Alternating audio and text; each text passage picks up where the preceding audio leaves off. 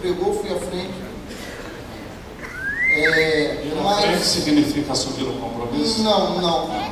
Eu com os amigos da igreja, jovens, me abraçaram e com muita dificuldade ainda, dificu- eu, eu- meus irmãos, eu sentia, quando eu vi um comercial de cerveja na, na televisão, eu senti o gosto ah, ah, da cevada na boca. Foi muito difícil. E eu, na casa deles, eles fazendo um brincando, um churrasco. É, eu fui tomado de um sentimento que eu nunca havia sentido. Porque era, era algo que eu não tinha, não, não sabia como é que era. E comecei a chorar, pedir perdão.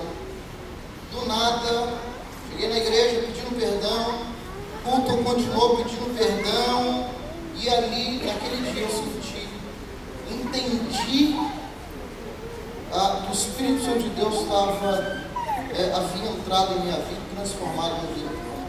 Se alguém está em Cristo, o processo estava começando. E agora? O que você teria a dizer sobre a sua vida hoje? A terceira pergunta.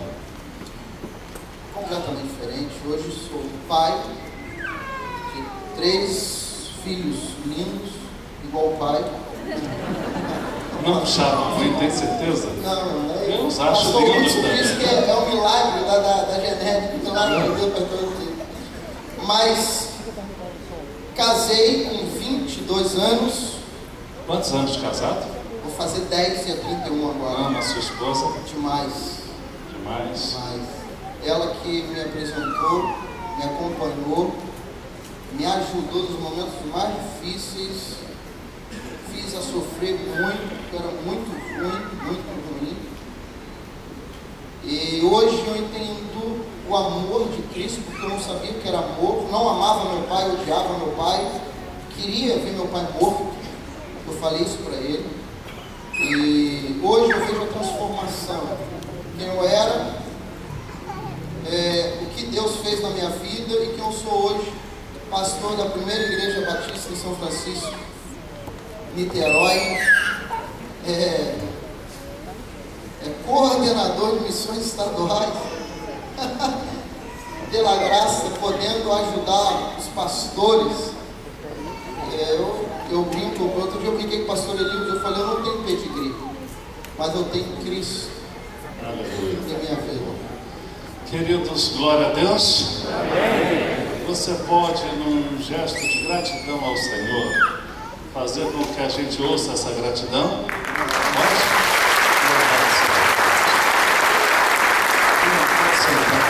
Presidente, eu agradeço por essa, por essa aquiescência. Tenho certeza que isso edificou a vida de muitos. Queridos, não existem impossíveis quando a gente coloca a vida nas mãos do Senhor. Bom, presidente. O Senhor é maravilhoso e as ações do Senhor, elas são surpreendentes.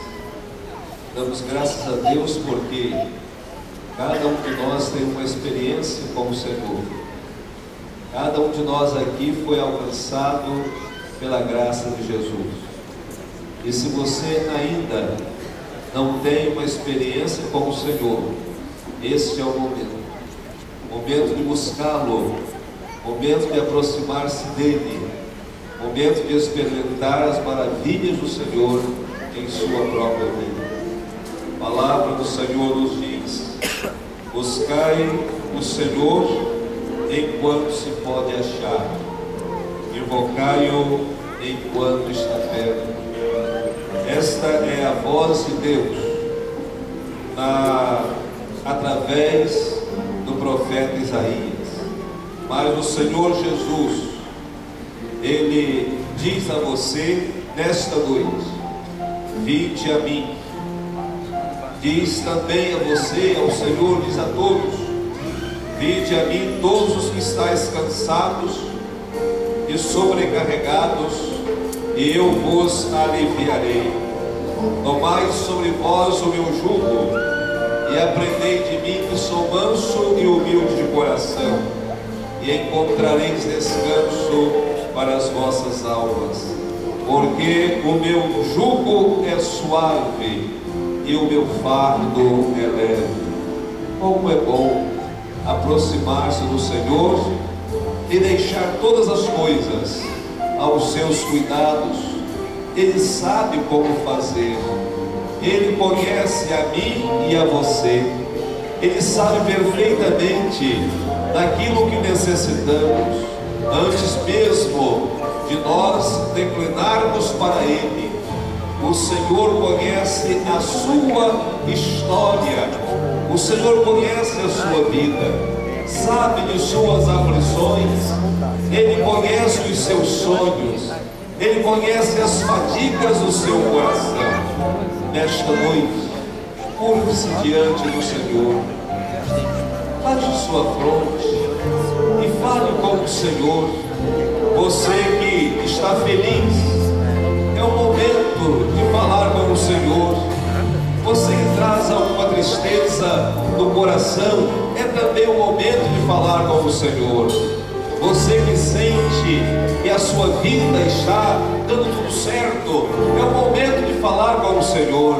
Mas se você também tem achado que sua vida caminha de mal a pior, que a sua vida na verdade está sem um rumo definido, se você tem perdido as esperanças, é esse o momento de dizer ao Senhor: Senhor, aqui estou, ajuda-me. E com certeza Ele vai te ajudar. Deixa o Salvador te ajudar nesse momento. Coloque, abra o seu coração para o Senhor. Derrama o seu coração na presença do Senhor. E com certeza Ele vai ajudá-lo.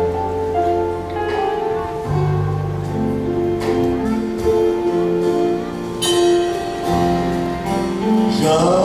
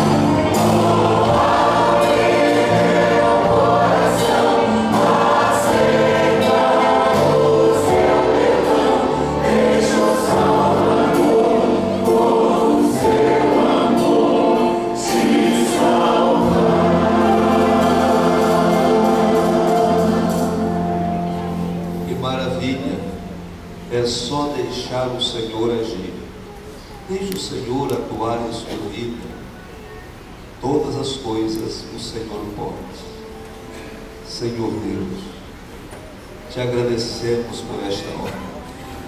Te agradecemos porque o Senhor já tem feito maravilhas em tantas vidas.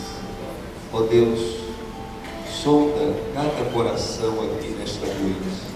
Trabalha cada ser. Ó oh Deus, nós te pedimos. E agora, Senhor amado, rogamos-te que se alguém está afastado do Evangelho, que o Senhor possa trabalhar essa vida, trazendo de volta. Se alguém aqui, ó Deus, ainda não teve uma experiência com Jesus, que seja esta oportunidade, este momento, e se, ó Deus, a fraqueza espiritual, qualquer deficiência, nós pedimos que através do Teu Espírito, o Senhor possa trabalhar para que haja, ó Deus, edificação, crescimento espiritual e uma postura diferente de nossa parte em relação ao Senhor entregamos tudo aos teus cuidados. Suplicamos-te a bênção do Senhor sobre todos nós e sobre o teu servo que vai trazer a mensagem. Oramos a Deus, deixando tudo aos teus cuidados. Em nome de Jesus. Amém. Pastor Levi vai pregar a palavra do Senhor. Pastor Walter pregaria, mas ele ainda não chegou pregará amanhã. E o pastor Levi me disse, e aí, quem vai pregar? O senhor é o presidente hoje. É, ele então está pregando. Desejo que o Senhor seja usado por Deus. Que Ele te abençoe. Pastor Levi, pastor da Igreja Batista, Jardim do Senhor em São Fidélis. É vice-presidente da convenção, um jovem talentoso, considero muitíssimo, considero como filho, ele é muito especial para mim, mas também com certeza para todos nós. Deus o abençoe. Presidente, pastor Vanderlei Batista Marins, mesa diretora, da qual faço honrosamente parte, queridos executivos, irmãos convencionais, boa noite.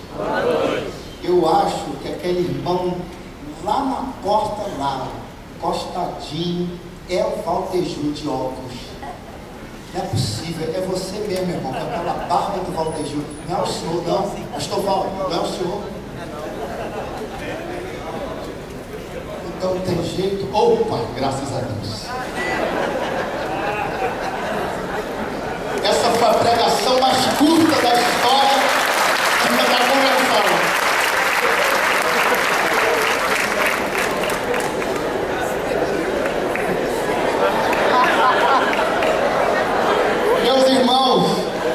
Dizer para você que os batistas, de vez em quando, eles também revelam algumas coisas.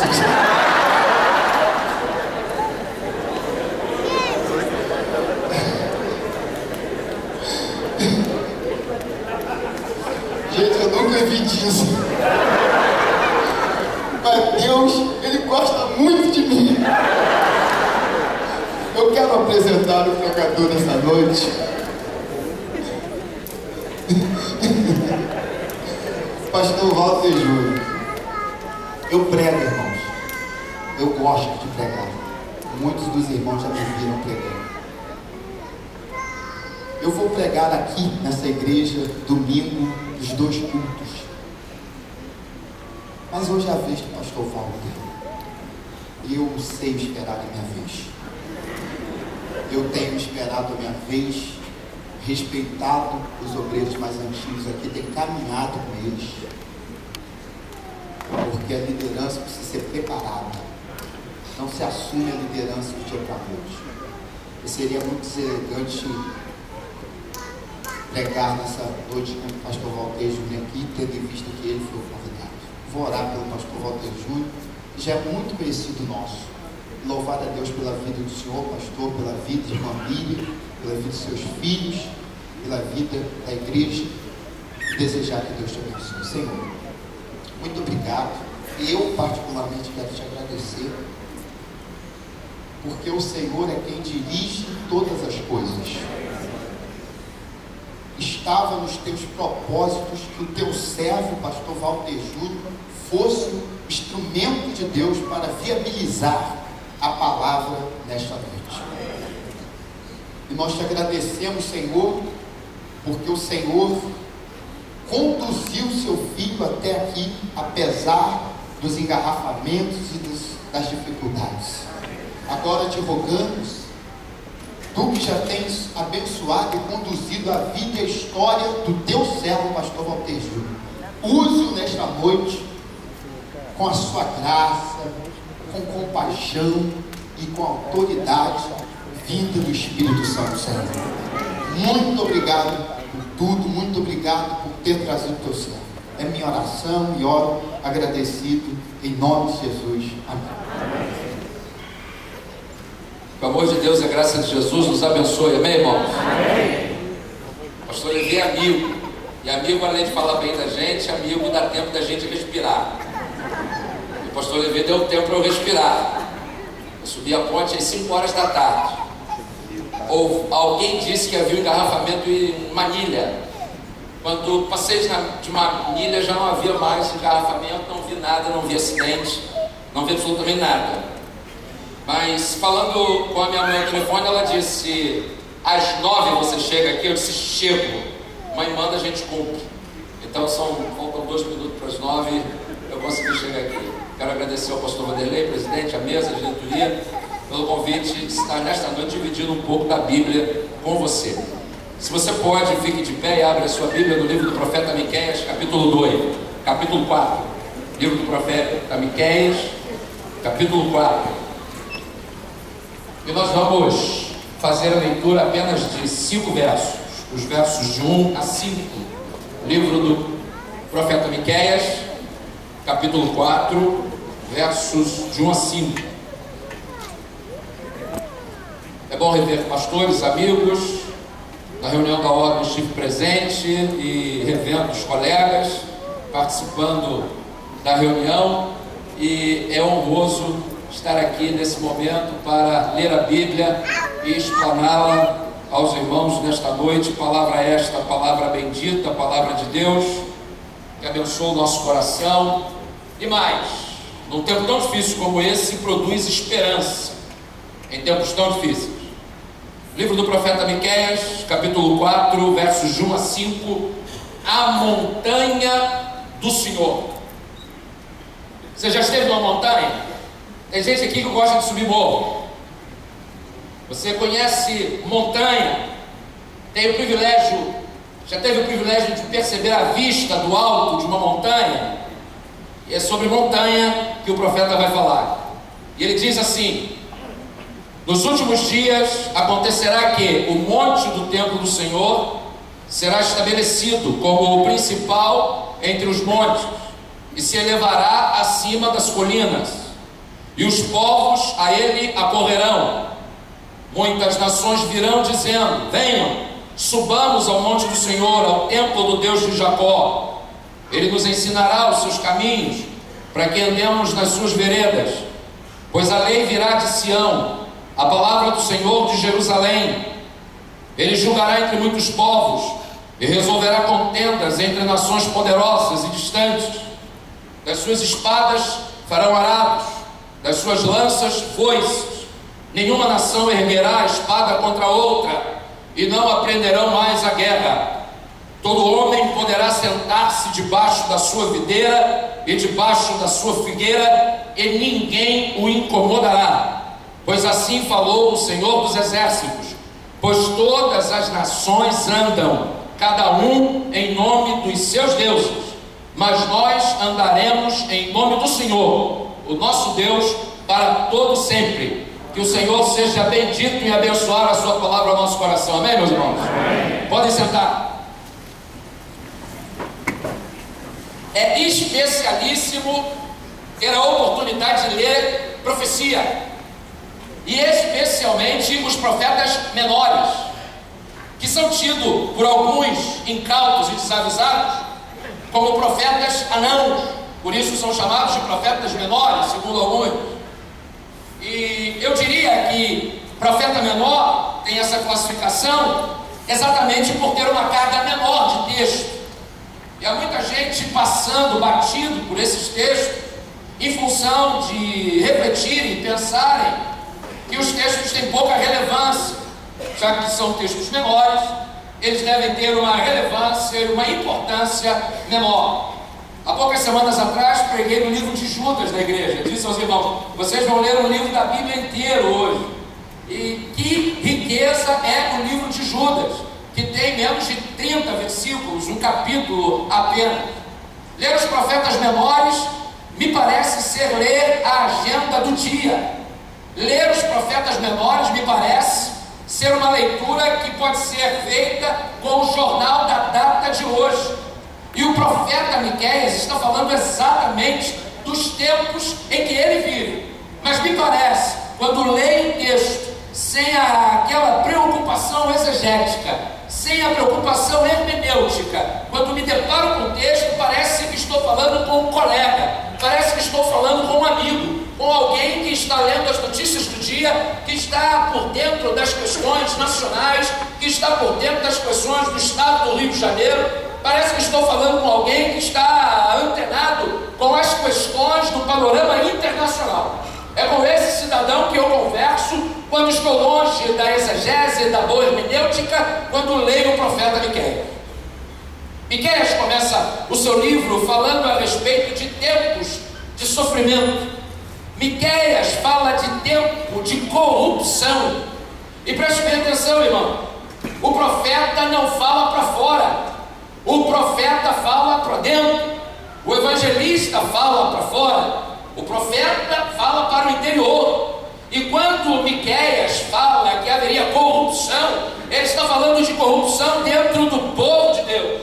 Você deve levar em conta que quando falamos do tempo de profetas, estamos falando de uma sociedade que está vivendo tanto a política social como a estrutura religiosa amalgamadas em uma única estrutura. Não há separação entre igreja e Estado.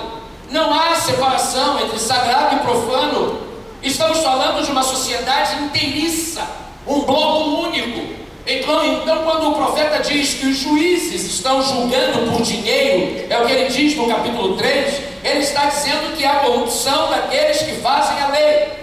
Quando o profeta está dizendo que há corrupção dos profetas, os profetas oficiais, aqueles que deveriam dar o conselho do caminho do Senhor ao povo, e eles profetizam corruptamente, ele está falando de homens de Deus que deveriam estar apontando o caminho do céu, pessoas que deveriam estar apontando o caminho que avança para a direção que o Senhor espera, mas são pessoas que estão ensinando uma palavra de erro, uma palavra de engano, uma palavra que não apontará a Deus. Ontem eu estava na minha igreja, no Rio da Prata, no lugar tranquilo do município do Rio, na cidade de Bambu, no bairro de Bambu, bairro fresquinho, tranquilo. Saí para almoçar, e quando saí para almoçar no restaurante ao lado da igreja, eu vi uma igreja aberta à frente da minha, que tinha uma faixa, e eu tirei foto da faixa. Entre tantas propagandas havia lá, almoço ungido, próximo sábado às 12 horas, almoço ungido. Eu parei, tirei foto, se você quiser depois no grupo eu te mostro a foto do almoço ungido. E fui almoçar já, meio desanimado. E voltei para a igreja, encontrei os funcionários, os vem cá, me explica aí, o que, que você entenderia por ver uma placa dizendo, uma faixa dizendo almoço ungido? Aí o Márcio disse assim, pastor, eu acho que esse almoço é para pessoas que estão doentes e que estão precisando serem curadas, então vão comer e vão ficar curadas. E nós conversamos ali sobre o problema de pregar o Evangelho hoje. Tanta gente pregando algo diferente que deveria ser pregado, a gente já não sabe mais o que é Evangelho. Há uma dificuldade muito grande. E eu disse, confessei para eles, estou repetindo para você, a minha bronca, a minha irritação, não é por causa do custo do almoço. Eu queria dizer, almoço para construir o tempo. Isso é lícito, não há problema nenhum, não há dificuldade alguma. Ah, o valor do almoço é sete reais, poderiam cobrar dez reais, não há problema nenhum. A questão é o que é almoço ungido. Meu problema é, é a birutice daqueles que se dizem pregadores do Evangelho. Nós estamos vivendo um tempo onde a palavra está sendo corrompida. E Miqueias, na sua profecia, vem dizendo isso categoricamente. Quero que você volte, se fechou sua Bíblia, abra em Miqueias 4. Abra a Bíblia, liga o tablet, o iPhone, o iPad, qualquer tecnologia que você tenha. Porque Miqueias começa assim, nos últimos dias. E quando Miqueias diz, fala dos últimos dias, Miqueias está falando que ele vai apresentar-nos um texto da categoria literária escatológica, apocalíptica. E nós estamos diante de um texto, capítulo 4 de Miqueias, que fala do porvir, que fala do devir, que fala do futuro. E preste bem atenção, você tem duas possibilidades numa literatura apocalíptica bíblica. Ou você lê uma literatura apocalíptica do Novo Testamento ou do Antigo Testamento. E há uma diferença simples, fácil, que eu tenho certeza que todos vocês sabem qual a diferença entre uma leitura apocalíptica do Antigo e do Novo Testamento. Eu poderia correr aqui o microfone e todos me diriam imediatamente a diferença. Para ganhar tempo, como o pregador chegou atrasado, eu vou dizer então logo a diferença. Quando nós lemos uma literatura apocalíptica do Novo Testamento, nós estamos falando de uma expectativa da volta de Jesus. Literatura apocalíptica do Novo Testamento está nos apontando o Cristo que virá como o Rei vencedor. Eu me recordo do texto do Atos dos Apóstolos, capítulo 1, quando os discípulos estão com Jesus nos seus últimos instantes, tanta coisa para perguntar, tanta coisa para procurar saber. Talvez um último abraço, um último beijo, um último afago. E aí me levanta um deles e pergunta, Senhor, mas afinal de contas, quando é que vai o Senhor agir para restabelecer o reino de Israel. Nós queremos saber, o Senhor teve esse ministério lindo, maravilhoso, esse ministério glorioso, que o Senhor começou lá nas margens do Rio Jordão, chamando o pessoal, montou 12, chegou a 70 crentes da igreja, de repente deu uma espalhada na igreja de dois em dois, juntou mais um grupo, mas aí o Senhor disse que ele não estava satisfeito, podia ir embora, e aí um bocado de gente foi embora, na verdade, o Senhor ficou sozinho, sua igreja faliu. O Senhor foi para a cruz sozinho. O Senhor foi para a cruz, morreu, foi sepultado, ressuscitou. Mas Jesus, o que a gente quer saber é o seguinte: quando é que a gente perde a condição de ser escravo de Roma? Quando é que o Senhor vai resolver a nossa demanda? E aí Jesus olha e diz para aqueles moços não vos compete saber os tempos que o Senhor decretou para a sua própria autoridade. Entre outras coisas, ele diz: Mas recebereis sobre vós poder ao descer o Espírito Santo e sereis testemunhas, tanto em Jerusalém, Judéia, Samaria e até Mesquita, onde eu nasci, os confins da terra. Vem lá. Vocês serão testemunhas, minhas. Vocês darão testemunho. E Jesus é elevado aos céus Jesus vai subindo e os discípulos com cara de bobos, olhando, anjos aparecem e os anjos dizem: Varões galileus, por que estáis olhando para o céu? Esse Jesus que dentre vós foi recebido do céu, há de vir, assim como para o céu, o vistes ir. E a partir daí, meus irmãos, irmãs, eu e você, estamos esperando ansiosamente a volta de Jesus. Do mesmo jeito que ele foi para o céu, ele voltará. Do mesmo jeito que ele subiu, ele descerá. E nós nos encontraremos com ele. Esta é a tônica da literatura escatológica, apocalíptica do Novo Testamento. Agora, preste atenção. Quando Miqueias diz, no capítulo 4, verso 1, nos últimos dias,